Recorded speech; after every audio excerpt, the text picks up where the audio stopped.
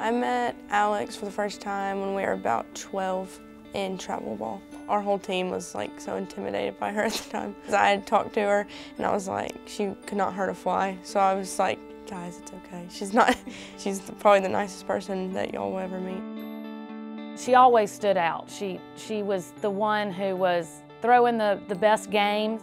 She was a, a rare, a rare athlete, a kid that can dominate in the circle. Impressive softball player, very talented, fast, strong, powerful, and could pitch. Just, she was a no, no-brainer in the recruiting process.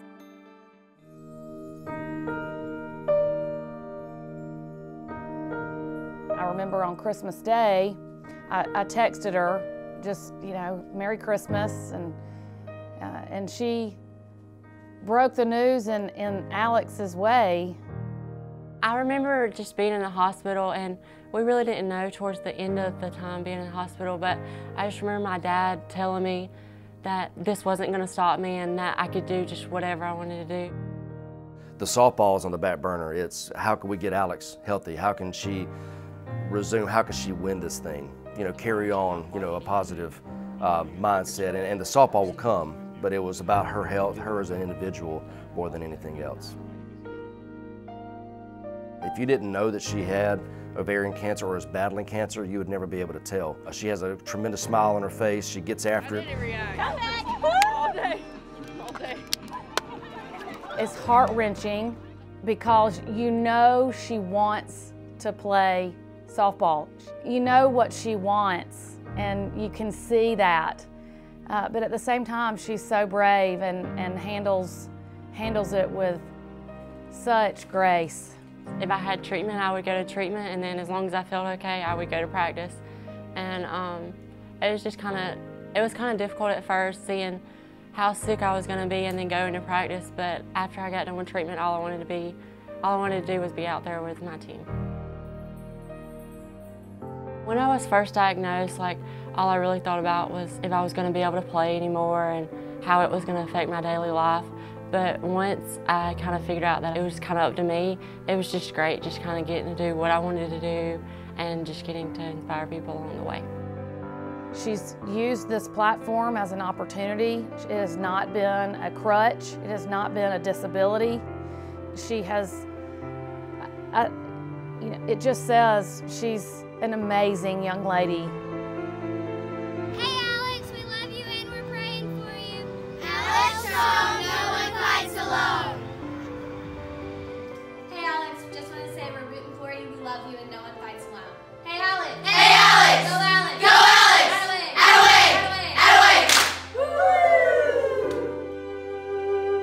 softball community, through this, this fight and awareness, has reached out and embraced Alex, embraced Mississippi State softball. She's touched lives that are in all of these programs.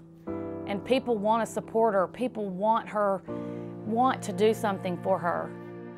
I think it shows her how much, like reassures her how much people have her back and how strong the community is at Mississippi State and all through Starkville really, and now all through the SEC and even the NCAA. It just, I feel like it really just fills her bucket up and everyone else that's fighting because they like truly know no one fights alone.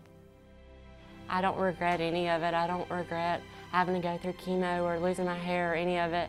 Um, I guess looking back, all I can think about is how much I've put an impact on people and their lives and um, how much I've realized like how much support I have through everything, no matter what it is. You know, I don't know if it's as much as me helping her, it's as much as her helping me and the people around us. She's extremely brave and her passion for life um, is hard to explain, hard to put in words. Her impact is lifelong. She's um, amazing young lady and everybody knows it.